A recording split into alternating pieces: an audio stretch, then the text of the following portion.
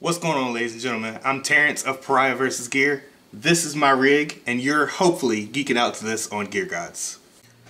So yeah guys, this is the rig that I decided to go with today. This is what I would consider my most unique rig, which is a Mission KM212P along with an armored amplification Sentinel 120 and my Zen Evolution 8 string.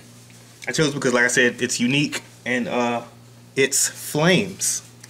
Yeah, bad dad joke. But you see, pretty nice uh, flame maple covering for this amp and I chose a flame maple top for this guitar.